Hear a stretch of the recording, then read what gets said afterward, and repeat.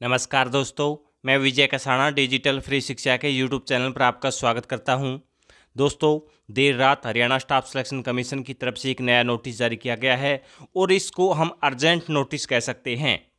CET वाले युवाओं के लिए ये नोटिस बहुत ही ज़रूरी है देखना साथियों, क्योंकि आपके लिए भी ये ज़रूरी हो सकता है। आपका भी इसमें रोल नंबर हो सकता है, आपका भी नाम हो सकता है। और या आपके साथी, आपके दोस्त का किसी का भी नाम हो सकता है। अर्जेंट नोटिस है साथियों, इसलिए इस वीडियो को अंत तक ज़रूर देखें। और अगर आप पहली बार चैनल पर विज़िट कर रहे हैं और आपको लगता है कि हमारा चैनल विश्वसनीय खबर आप तक पहुंचाता है तो आप चैनल को सब्सक्राइब कर सकते हैं। तो चलिए साथियों, अभी अभी नोटिस आया है, तुरंत आपके साथ इन्फॉर्मेशन शेयर की जा रही है।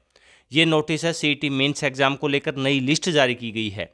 ग्रुप नंबर ग्यारह, बारह, तेरह उन्नीस, चौबीस, अट्ठाईस, पैंतीस, छियालीस, इक्यावन, बावन और पिचपन, यानी कि ग्यारह ग्रुप हैं।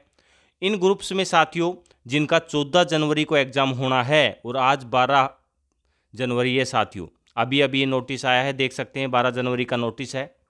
इसमें साथियों, ये देख सकते हैं, पहले एक लिस्ट जारी की गई थी, जिनके रो नंबर उसमें थे, उन्हीं कैंडिडेटों का एग्ज़ाम था, लेकिन एडिशनल शॉर्ट लिस्ट जो कैंडिडेट हुए हैं उनकी लिस्ट और जारी कर दी गई है, ये देखिए।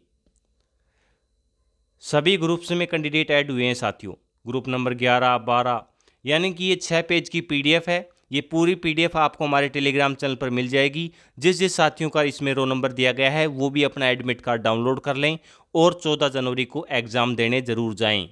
तो साथियों, ये अर्जेंट नोटिस इसीलिए बताया गया है कि इन साथियों तक खबर पहुँचना कल तक ज़रूरी है। क्योंकि जिनका 14 जनवरी को एग्ज़ाम है तो उनको एग्ज़ाम सेंटर पर भी पहुँचना है। इसलिए कल ये खबर आप तक, या आज ही ये खबर आप तक पहुंचनी बेहद ज़रूरी है। तो ज़्यादा से ज़्यादा इस वीडियो को शेयर भी करें। ऐसे ही बेहतरीन अपडेट के लिए आप चैनल के साथ बने रहें। अपना कीमती समय देने के लिए बहुत बहुत धन्यवाद।